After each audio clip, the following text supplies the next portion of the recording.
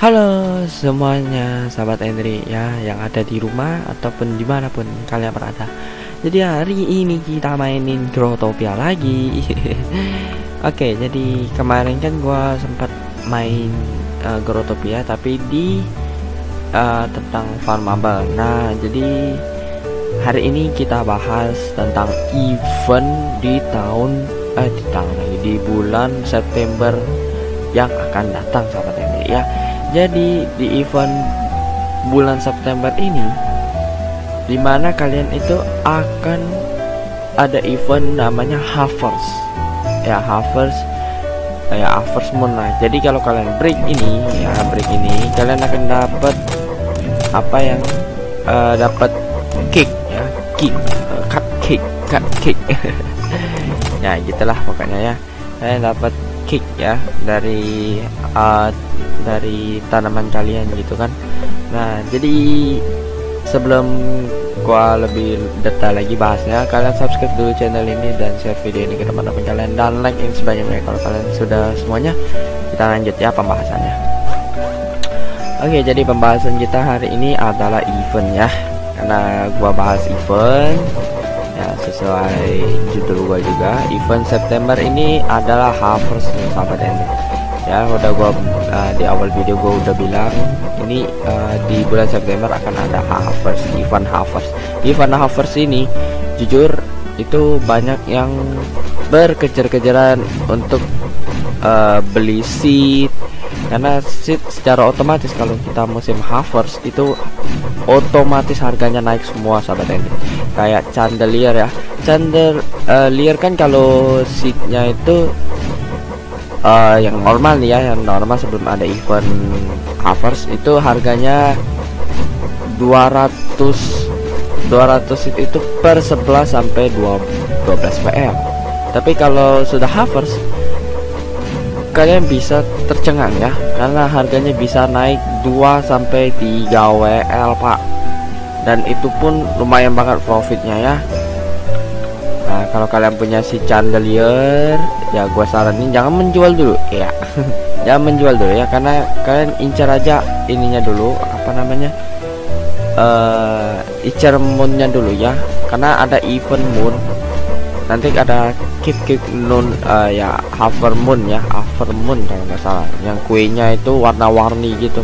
Nah itu kalian simpen Karena kalian bisa bikin berbagai hal. Nanti kalau kalian Havers itu uh lumayan lah pokoknya profit banget. Dan juga kalian menguntungkan sekali. Ya kalian bisa jual mon tersebut atau kick tersebut ya dengan harga murah atau harga mahal juga. Ya bisa lah kalau eventnya habis kan kalian bisa jual mahal gitu. Kalau eventnya belum habis ya kalian bisa ini sih sebenarnya. Dan juga itu profit pastinya ya sahabat ending nggak nggak merugikan kalian juga karena kalian cuma modal seat doang ya. Seat havers sudah gitu aja. Seat di havers seat di havers gitu. Tanaman ditumbuh ya sudah di haversin aja gitu. Jadi nggak ribet kalian ya. Nah, kita pasang-pasang dulu bloknya. Bloknya kita pasang dulu ya sahabat ending nah. Karena aku pik uh, abang pikir itu kalau ini nih sebenarnya cepat sahabat ini. Kalau ini ya Sugary Waster City ini ini cepat banget. Jadi pertumbuhannya itu cuma satu menit uh, satu menit udah bisa dapat profit banyak juga ini. Karena banyak orang yang cari bui UV bui UV ya bui bui bui, bui UV lah gitu. Nah, jadi banyak orang nyari juga. Oh tuh dapat tuh dapat UV nya itu itu sudah 10 sahabat ini ntar kita jadiin ya. Ini pokoknya yang ini, ini seru banget sahabat yang pastinya seru banget. Di event ini seru banget. Oke, kita kita ambil semua. Dan pas 200 ini kita klik sini klik sini juga. Oke dapat satu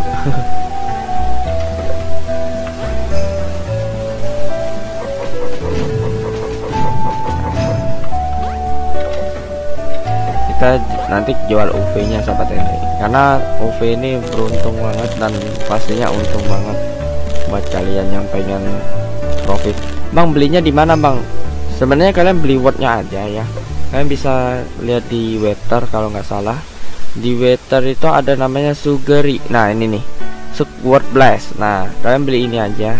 Harganya 10.000 dan kalian bisa nemuin ini.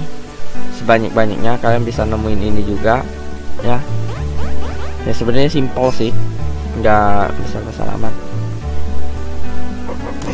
dan juga terus aku mau kasih ke, ke kalian bahwa yang event eh event ini berpengaruh dengan harga juga ya sahabat ini ya.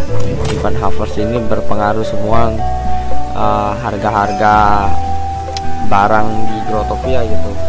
Karena harga Grotopia uh, harga item farmable itu harganya naik semua sahabat kalian